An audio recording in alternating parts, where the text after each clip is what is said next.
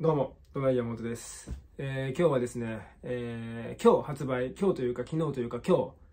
日、0時にね、発売した、えーベビーメタルの新曲、ディバインアタックについて喋っていこうかなと思います。はい。まあ、そんなダラダラ喋ってもあれなんで、あの、新曲の長さが3分39秒なんで、あの、それよりも短く収めようと思います。あんまね、あんま俺の話ばっか聞くよりもさ、新曲いっぱい聞いた方がいいと思うから、ね。うん。あの、もう何年ぶり3、4年ぶりぐらいじゃないですか。新曲が発表されたのって。多分2020年ぶりぐらい。だから、あ、3年ぶりか。ね、ベビーメタの新曲を聴くという体験が久々すぎてね、なんかすごい新鮮だったね。うん。で、あの新曲の感想なんですけれども、まずね、あの、ディバインアタックってタイトルですね。なんか競走馬の名前かと思いました。うん。なんか、ベビメタ公式がさ、なんかツイッターとかでさ、なんか告知してる、なんかツイートにもなんか馬の絵文字あったし、なんか馬イメージ、なんか競馬とかイメージした曲なんかなって聞く前思いましたね。なんかディバインアタックかっこいいですね。なんかもし僕が今度なんかウイニングポストとかで、なんか馬育てるときディバインアタックって名前つけようかなって思いました。うん。で、肝心の曲なんですけれど、やっぱね、ななんだろう、今まであんまり聞いたことが、ベビーメタでは珍しい感じの、新しい感じかなって思って、まあ、強いて言うなら、あの、From Dusk Till Dawn とかがちょっと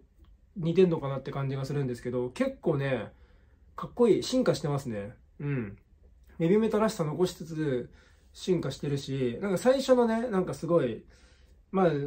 日本的な、その、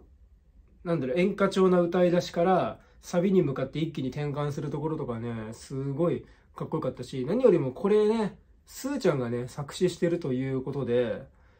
なんか、すごいなっていうふうに思いました。うん、なんかスーちゃんもともとね、桜学院時代からシンガーソングライターになりたいって言ってたから、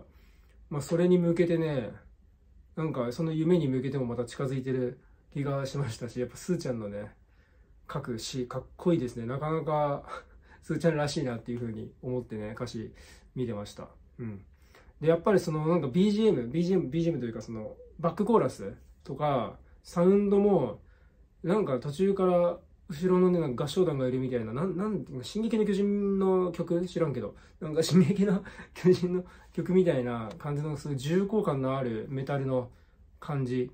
うん、今までベビーメタでそういう曲あったっけな？なんかコーラスが後ろからファーって流れてくるような。デスボはあったけど、あったらごめんなさい。なんかあんまちょっと今、今思い出せないんですけど、すごい結構ベビーメタでは結構新しいなと思って、でもなんか、すごいあの正直、なんかね、これじゃないやつ来たらどうしようって思ったんですけど、普通にかっこよかった、普通にかっこいいって言い方あれだけど、かっこよかったから、なんかアルバムがすごい楽しみだし、なんか毎月ね、これからベビーメタの新曲どんどんどんどん出てくるから、すごいね、期待ですね。もう毎月の楽しみが増えました。うん。まあね、あのーサードアルバムもいろんな曲調のアルバム、あいろんな曲調の曲あったと思うんだけれども、うん。またね、まあやっぱ配信第1弾だからね、こういう強めの曲を出したんだと思うんですけど、まだね、もうちょっといろんな曲調の曲ね、これから出てくると思うんで、楽しみにしています。はい、というわけで、ああもうすぐ3分39秒になっちゃうんで、そろそろ終わります。はい、お疲れ様でした。